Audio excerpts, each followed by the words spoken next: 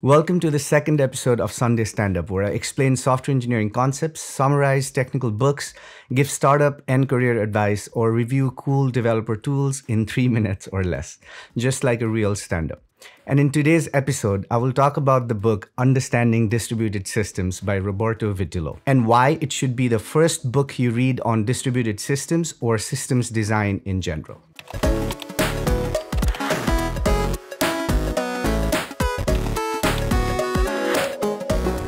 I often find that most books dive right into the heart of some complex topics around distributed systems, which can overwhelm you if you aren't experienced enough. A common book people read is Designing Data Intensive Applications by Martin Kleppmann.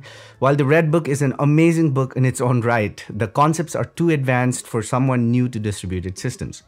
Advanced consistency models and quorum algorithms for distributed transactions can be overwhelming even for folks who have worked in the field for a while. However, this book bridges the gap between I've never worked outside a monolithic application and I'm quite seasoned at scalable systems perfectly.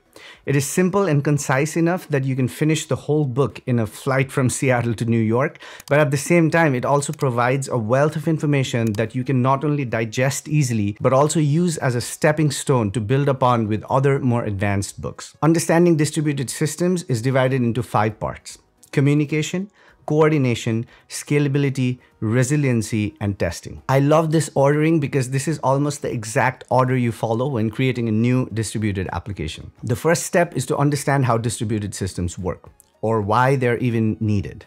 At a very basic level, they're essentially a set of geographically separated nodes that are responsible for sharing information over the network. So it is critical to understand how communication works over a network, what a network stack is, and what happens at each level.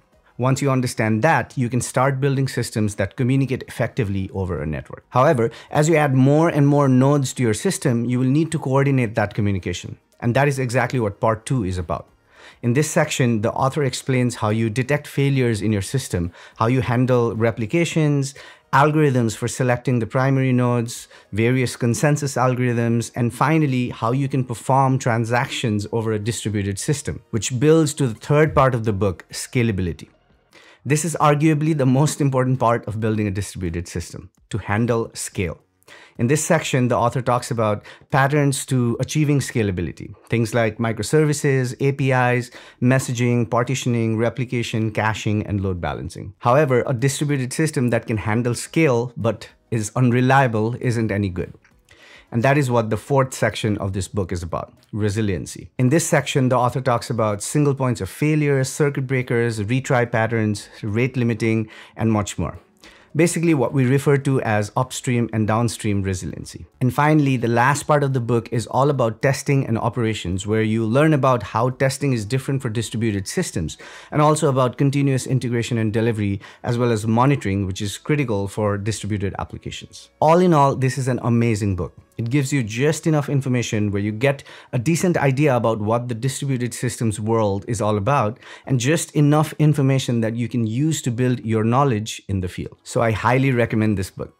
If you want to get a copy for yourself, the link will be in the description below. And before we go, a quick word from today's sponsor, FlexiSpot.